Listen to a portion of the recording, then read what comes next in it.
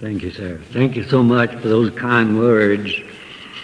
And I am honored to get to be here.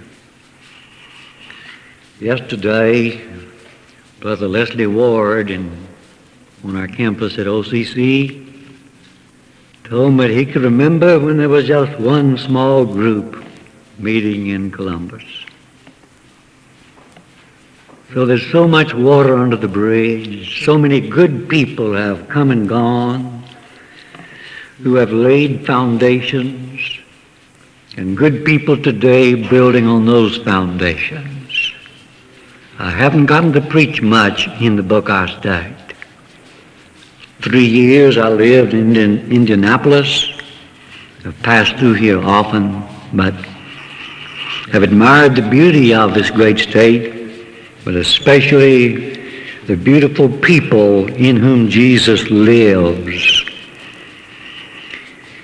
And I rejoice in the eldership at this place, sponsoring this school to develop preachers. And I'm glad that you have Brother David, even though he comes from a foreign land, he has so much to contribute. And talking about that, I noticed in his study there is a sweatshirt. If you do what's right and pray and read your Bible and go to church, when you die, you go to Texas. Someone has put across the bottom of that, you go to West Virginia. My wife has a beautiful placard that she got in Dallas. See, we got sand in our shoes when we were three years in Dallas. And she's carried that placard with her back to Washington, D.C. and several places, and still has it now in Oklahoma as close as it is to Texas. It has two angels on it in heaven flying around. And one says to the other, if we're good, we'll go to Texas. Men and women both here this morning giving you ears. And how many good things we've heard in these two hours. And I say it's an honor to be here because I know these elders through their designated representatives were not without thought in naming the men who would try to lead your thinking so it's an honor to be here and to be associated with these men of God who have given so many years of service, study and pray every day to try to do a better job. And I appreciate the good prayer that was offered just now. And I solicit your prayers for my work, 68 years old now. And I'm hoping the Lord will use me yet many, many years and may every influence be for good. Now, evangelism. When you look that word up in the dictionary, of course, it comes from a Latin derivation. But gospel preachers are not content with definitions in English dictionaries. One might check the dictionary on baptism and an English dictionary might say a rite administered by sprinkling, pouring, or immersion. So gospel preachers are never content with that. So evangelism. I'm glad Brother Goldman is teaching in this school the language that the Holy Spirit used and makes one think of the Lord himself. I am the A and the Z. No. I am the Alpha and the Omega. It was that language the Holy Spirit used. And you and I want to be able to look those words up. And so for every Bible subject, we want to go back to Bible words. Hold fast the form, the type, the pattern, the shape of sound word, health-giving words. 2 Timothy 1.13. So one goes back and looks at this. Some of you may not be in Brother Goldman's class yet, but these things can be broken down in simplicity and I hope made graphic.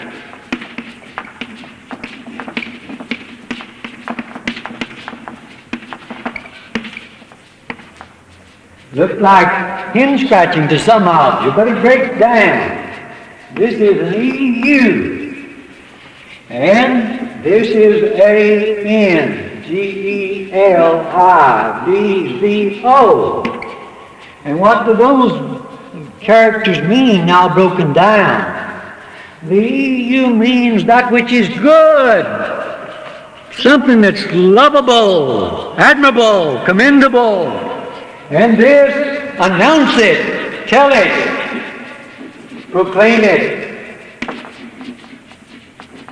So tell something good. You Euangelizo. And as such, the word itself has no religious flavor. It could be your mother-in-law telling you she's going to leave home and go back to her own home.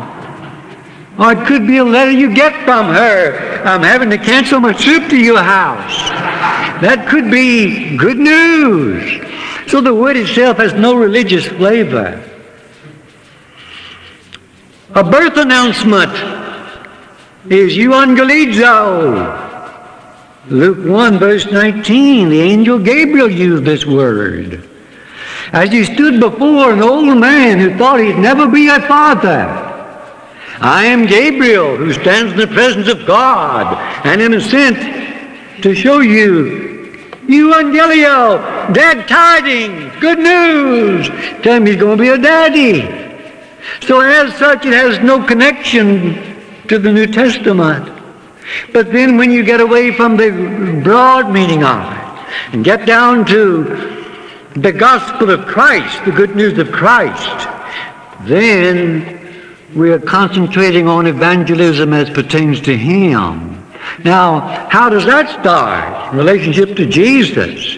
Moreover, brothers, I make known to you the evangelion, the gospel of this word, the good news, 1 Corinthians 15. What is that? What's, it, what's wrapped up in it?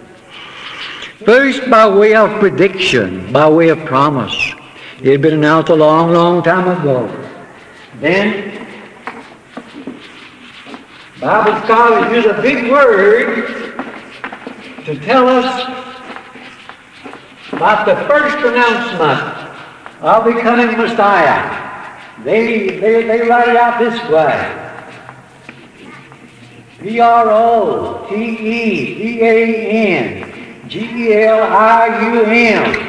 There's the jawbreaker. Protevangelium. But it breaks down, like that, Protos is first. First. And the same word, good news. Good news, the gospel. A good announcement. The first announcement of the good news. Genesis 3.15. I will put enmity between you, the snake, and the woman and between your seed and her seed. And he shall crush a bruise your head. You will crush a bruise his heel. There is an announcement that's clothed in some obscurity, but it is a ray of hope. Something good is coming. The woman's seed is going to outdo the devil's seed. And so that is the first announcement. Then there are other predictions. We don't have time to go into the New Testament with that, although direct it's not quoted, but it's alluded to. Then Isaiah, the gospel prophet, in the 52nd chapter, at verse 7, how beautiful upon the mountains are the feet of him that brings the good news. Well, back there, it was this word. Basar, Basar.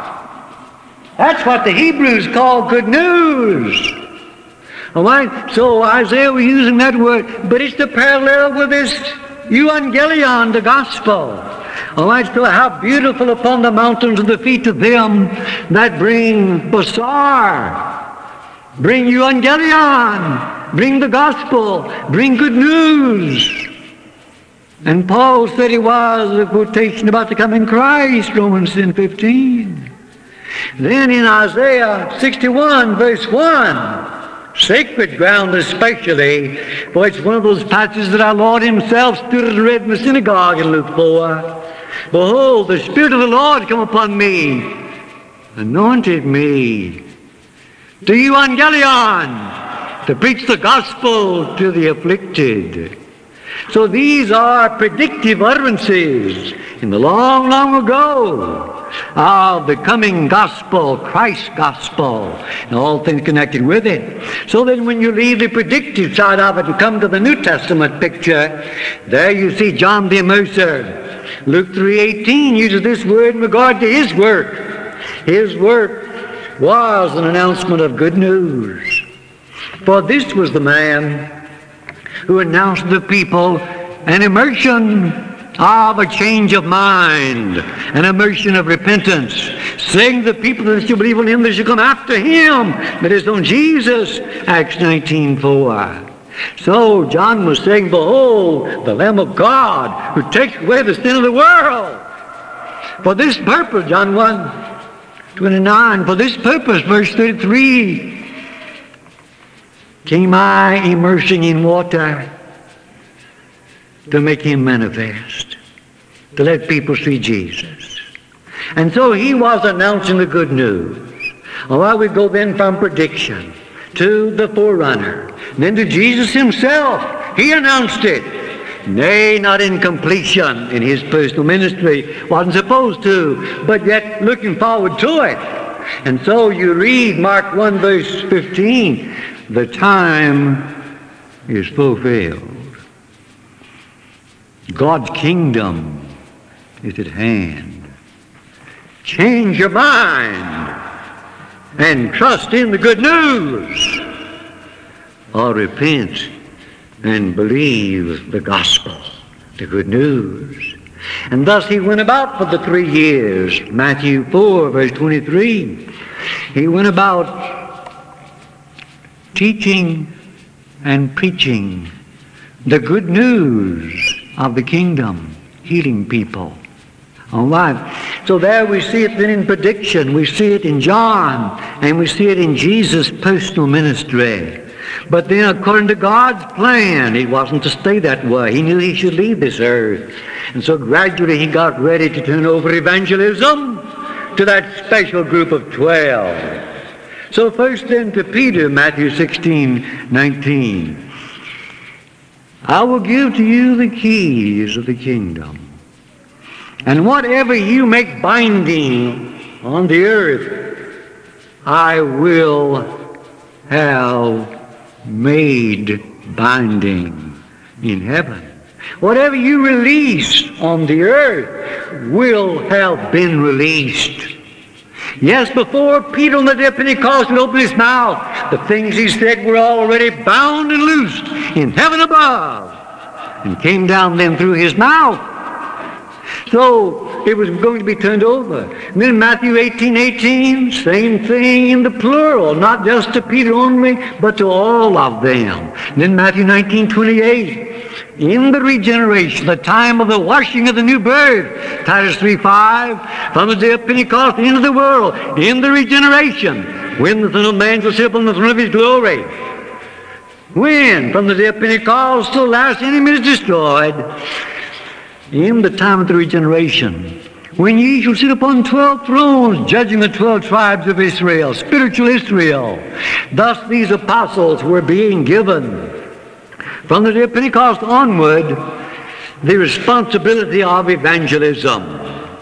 Then, without taking the time to read Matthew 28 on this, the word euangelion comes up again, especially in Mark 16, 15. Go ye into all the creation, all the world. Announce the good news. Preach the gospel to every creature. He who trusts and is immersed shall be delivered, but he that does not believe, does not trust, shall be condemned. And so it was being laid out piece by piece. But tarry, wait until the power comes upon you. All right, and so the apostles then on the day of Pentecost began their responsibility of evangelism. Up before thousands of people. And standing up with the eleven and so on. And then Acts 5.28, you fill Jerusalem with your doctrine. Yes, evangelizing. In Acts 5.42, and daily in the temple and every house, they cease not to teach and to preach that Jesus is the Christ. And so it was in the hands of the apostles, but it didn't stop there. They're not here now. Then it was turned over to Christians, all of them. And let's think about that aspect of it. In Acts 2.42, those who had accepted Christ continued in the apostles' doctrine. And of course that essentially was the apostles' doctrine to tell the story of Jesus with all that it means. I determined to know nothing among you except Jesus Christ and Him crucified. 1 Corinthians 2 2. But you read through the Corinthian correspondence and see how many things are interrelated with the good news. You cannot just leave everything else but the cross unless you know what the cross means. And it's all the New Testament is brought into it. But to go on then with it, now the uh, responsibility of evangelism was put over in the hands of the disciples. Then you read Acts 8, verse 4. After the persecution had arisen, the apostles still yet in Jerusalem, scattered abroad, then they that were scattered abroad went everywhere evangelizing. My mother's Bible, which I still love and still the most precious to me, the King James, says preaching the Word. They went everywhere preaching the Word. Well, it's this word, euangelizo. There's the authority for women preachers. But they were not up before men in a public way. They'd have been ashamed to do that. They knew that was not woman's province to be a leader.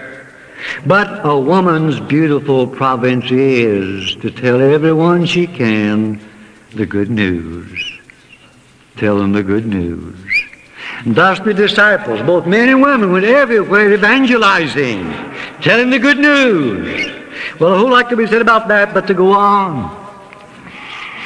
I come next to 2 Timothy 2, verse 2. And the things thou said of me among many witnesses, the same commit thou to faithful men who should be able to teach others also. That's where we come in. Brother George DeHoff will remember Pete Hardeman. Brother Hardeman used to teach us this. Boys, yours is not the great commission of Matthew 28, 18 to 20 to Mark 16. That was the apostles. Your commission is 2 Timothy 2 2. That's where we come in. It's been handed down to us to pass on to others. And the things thou hast learned of me among many witnesses, the same commit thou to faithful men who will be able to teach others also. That's our commission, handed down to us. So that's the first part of the lesson this morning. And from one standpoint, that takes it all in. But since there are abuses and corruptions of evangelism, I wouldn't do right by you, and I'd be amiss in my duty were I not to point out what I believe to be some abuses of evangelism. And if I forget not, I thought about ten of these that I'd like to mention to you briefly. One is the Mormon abuse of, Roman, of Revelation 14:6. And I saw in the midst of the heaven an angel preaching the everlasting gospel, carrying out the good news. And you know the Mormon perversion of it. That an angel by the name of Moroni in Fayette County, New York State, went into the bedroom of Joseph Smith and told him where to find the plates. He talked so low that they didn't awake the parents in the same house with Joseph, he said. But the angel Moroni had come for that purpose. Well, if that's what Revelation 14:6 is talking about, we get the Bible into a lot of trouble. For remember in other places, angels are not allowed to preach directly. We have this treasure in earthen vessels, 2 Corinthians 4 7. And the angel, in talking to Cornelius, did not tell him what did to be saved, but sent him to an earthen vessel. But to go on with it there, if the angel Moroni, an imaginary angel, if he did come to preach the everlasting gospel, if the Book of Mormon is it, that angel wasn't faithful to his trust. For the gospel is age lasting, the whole Christian age. It cannot be changed. And what was given the first century has to be given now. So if he gave something different, the Book of Mormon, then he wasn't faithful to his trust. For back in the first century, a great evangelist said, as everybody here can quote, Galatians 1, I marvel that you're so soon removed from him who called you into the grace of Christ into another gospel, another good news, which is not another, but there be some that trouble you and would twist, pervert, put in racks, would pervert the gospel of Christ. But though we are an angel from heaven, were to preach unto you any other gospel, enough said about Moroni. If he did come, he had to preach the same gospel that Paul preached. And no anything else would be a twisting of it. So that's the first thing of these ten things, but more could be said about that. Second, here in Ohio, in 1849, down Cincinnati, Alexander Campbell was elected the first president of the American Missionary Society. Out of good zeal, yes. Moreover, brothers, we bear them record. They have a zeal for God, but it wasn't according to knowledge. To get the thought from Romans 10, but to apply it in 1849 at Cincinnati. And I'm thankful that you folks know that the evangelism of the New Testament now handed over to the disciples is in the church. 1 Timothy 3.15, the pillar and the ground of the truth. The church is God's missionary society. And you have the examples, as Brother Winters pointed out, are they going out from the church at Antioch, Acts 13? Are they coming back to the church at Antioch, Acts 14, and making their report? Yes, the church was the evangelistic center. The church is the pillar and the ground of the truth. And there are many, many abuses that have come into the mission, but I won't go into that. But simply trying to see this morning the difference right and wrong in these ten areas to which I'm calling your attention. Third, anti-literature doctrine from sincere people, knowing that men had abused the gospel and evangelism by creed books, went to the other extreme and said, we'll use no uninspired literature. Well-meaning brethren, but so uninformed. But they couldn't even use my mother's Bible in the editions that I've seen for they all take you back to BC 4004, which is not a bad date, by the way. But I'm not going into that at the present. As I mentioned before, I'm so thankful for the work of Wayne Jackson in taking us back how old this earth. He's done more on that than anybody I know of. But that's not a bad date, but it's uninspired literature in, to put that in the margin of Genesis 1. It's uninspired literature. And these brethren use that. So they're incons- they don't know that they're inconsistent. They mean well. But that holds the gospel back, evangelism back, if you refuse to use lesson leaves and quarterlies and blackboards and anything else you can in evangelizing, the, telling the sort of good news. So that is an item number three. Needs to be eliminated. Gradually is being done, but we need to teach people about it. Then anti-class. Well-meaning brethren have objected to the classes not realizing it, for example, Acts 18.8. Three people sat in a Bible class. A husband, a wife, and a preacher who was off base. And I can't believe a wife could sit in that situation and be quiet. Or a man either. No, they both did it. Aquila and Priscilla. And I believe it's four times in the New Testament her name appears first. And it wasn't because she was the head of the house. But the, the point about it right now is there was a Bible class. Straightened out a preacher. And well, that class was held in somebody's private home or in a Bible classroom. And whether it was on Sunday morning or some other time, it's still just evangelizing. So these good brethren have failed to see the principle Brother Wendell's trying to get us to see what's essential and what's not. And so the anti-class movement, I'm glad it's shriveling up. But good people in it, pray for them and be gentle with them. Brother Lanier was able to bring one who, with whom he debated out of that situation. That doesn't happen often, but that's what we need to do. Then, anti-cooperation holds back evangelism. And that's still with us, much more than the anti-literature and the anti-class. Anti-cooperation. Well, what's right and wrong about that? Well, I believe that the present situation at Abilene with the Herald of Truth is not under a wise eldership. Keeping Lynn Anderson and the false teaching that he has done.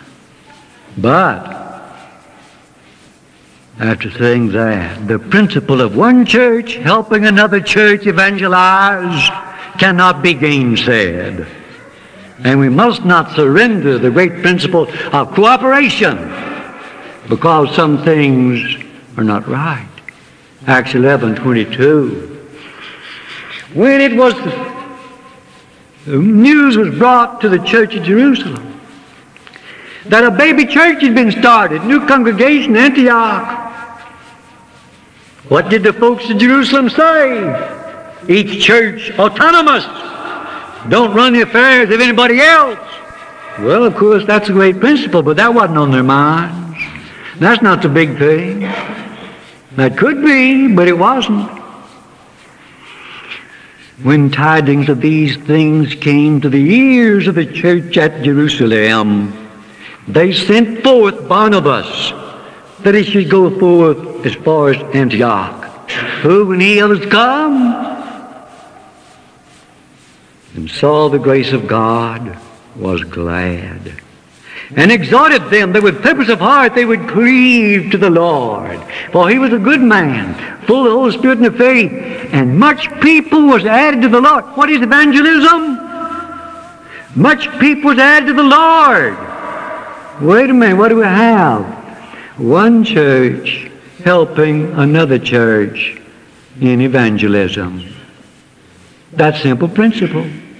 Well, Brother Wendell's trying to get us to study it through. What's essential, what not? One church helping, nobody taking over. No. But one church helping another church in evangelism. So, the idea of anti-cooperation is a diabolical doctrine that holds back the kingdom and defeats evangelism. Then, a doctrine that we heard considerably a few years ago Leroy Garrett and others before he switched over. You can't be a located evangelist. Well, for the simplicity of it, As I exhorted thee to abide still in Ephesus, 1 Timothy 1 3. Abide, that's locate. Abide still in Ephesus when I was going into Macedonia, that thou mightest charge some not to teach a different doctrine. Preach to church members. Preach to church members. But this fallacy and this error that holds back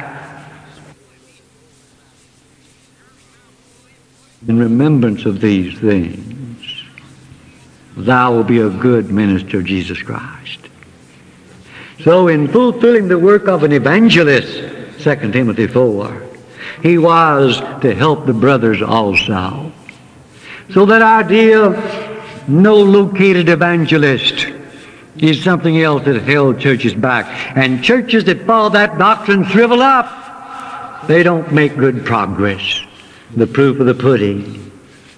But then another that an evangelist is in charge of a church before elders are appointed. And that's still believed in some places. But to get to it very briefly, Titus 1 verse 5. Paul said he left Titus on the island of Crete that he might set in order the things that are wanting and ordain elders in every city.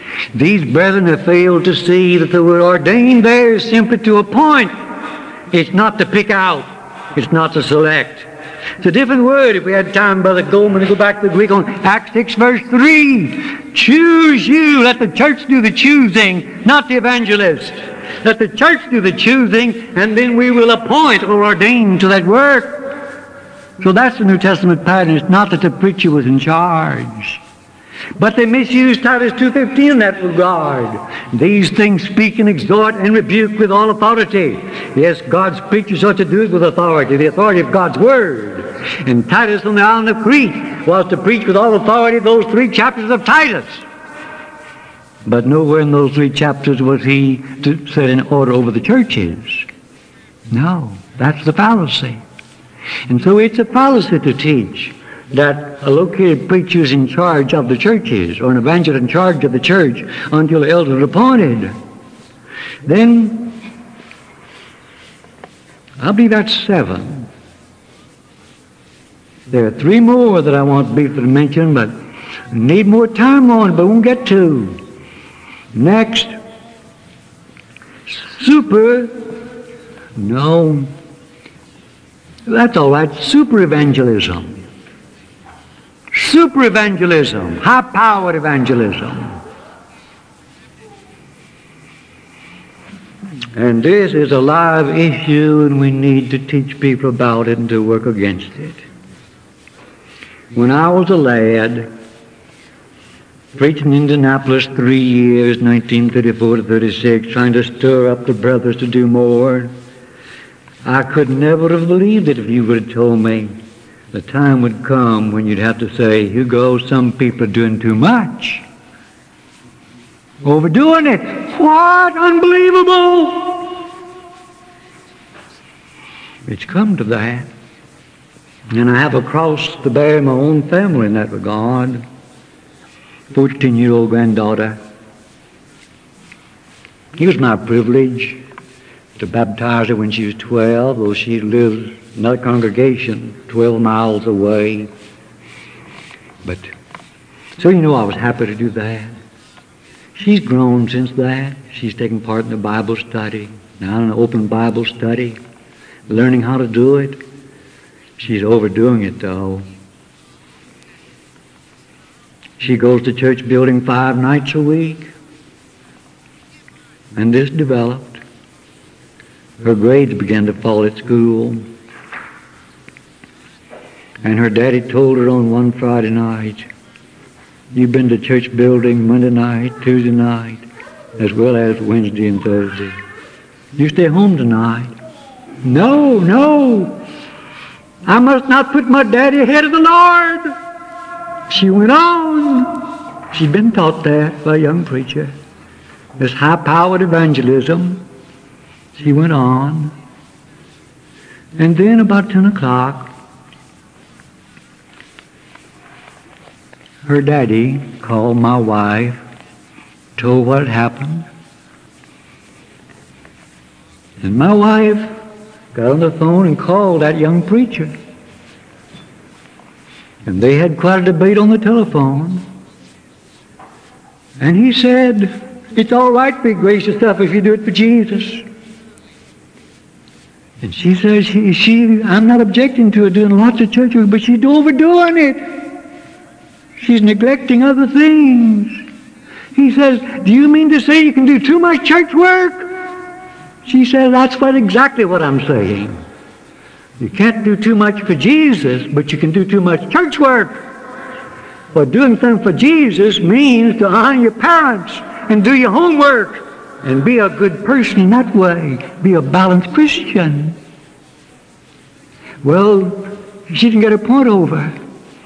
And that young preacher told the crying granddaughter, you go home with me if you're afraid to go home to your daddy. So he took her to his house with his wife. And then the crying granddaughter called Grandma. And she says, you go back home and do it tonight. She called young preacher the phone. You take that daughter back to her daddy, her mother. Well, that's, that young preacher means well. He's just overdoing something. Then they're teaching young people this. Every waking hour should be spent in evangelism, knocking on doors. Every waking hour they use. So in one congregation, they have Tuesday night visitation. And this brother went every Tuesday night. On Monday night, he was going to a bowling league. Somebody heard about, went to him. You're sinning unless you go there to convert people. You ought to be out knocking doors. Jesus says, Come ye yourselves apart and rest a while. Mark 6.31. Be a balanced person. Don't overdo things. Super evangelism, for the want of a better word. But it's doing more harm than good in that, in that, in that way. Then number eight, Give your witness for Jesus. Share your faith. Those two phrases, clauses, non-biblical, but they're influencing people, being used. Where they come from, denominations, not the New Testament. Well, now is it right to bear witness? Oh, yes, directly, of course. Only the apostles were witnesses. But in another sense, you can be a witness in this sense. In this sense, it's right. It's another thought about doing to an extreme. Mark 5, verse 19. Go home to your friends and tell them what Jesus has done for you. Beautiful statement. And you ought to be willing to do that. And that's witnessing. And Paul witnessed about his own conversion. He told what the Lord had done for him, who was before a blasphemer and a persecutor and injurious. But I obtained mercy because of his ignorant unbelief. 1 Timothy 1. And thus, witnessing both to the small and to the great. Acts 26, verse 22. So it's right to do it. But wait, wait. That's not saying enough. If all you do in conversion talking to people evangelism is to tell them what Jesus has done for you, you never will get to the cross. You've left the sinner out of it. This same Apostle Paul, who was another verse to tell about his conversion, didn't stop there. I determined to not come when you say Jesus him crucified, 1 Corinthians 2, 2. God forbid that I should glory, Galatians 6.14, not in my own conversion, not what he's done for me, but in the cross. Then look at it this way. Brother Wendell referred to 1 Timothy 5.10 this morning. This is what it doesn't say. A widow, well reported of of good works, if she's knocked on doors.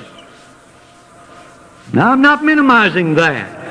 And if you haven't done some of it, you've got to have a mighty good excuse or the Lord will condemn you. But well report of her good works if she have brought up children, lodged strangers, washed the saints' feet, relieved the afflicted, and knocked on doors. No, that's just not there. And it wasn't because it's not important, but it's being a balanced person. A balanced person. I will therefore that the younger women be door knockers, and if necessary, neglect the children, for the Lord comes ahead of your children. And one woman has lost her husband and her children because she's done so much church work. He's not a Christian. He doesn't understand it. He's divorced her now. And she thinks she's a martyr. But she caused it by leaving her children and leaving her husband too much. She was not a good wife. It's a sin to be super evangelistic. It's overdoing it. So I will the fool that the younger women marry. No, that's out of fashion. Just shack up if need be. I will therefore the younger women marry, bear children. No, no, not be a second-rate woman. Second motherhood, second-rate. I will the fool that the younger women marry, bear children, and then knock on doors. No! God the house. Be a good mother. Be a good wife. There's the balance of the New Testament, the balancing of it. But, let's see, that's one more, if I have forgotten my outline. One more, I believe, and I'm through. Catechumen. Refusing to baptize people until you have indoctrinated them in a catechumen. To tell them how much it means to be consecrated to Jesus, total commitment. And hold them up until you can do that. Or to talk to those that were baptized years ago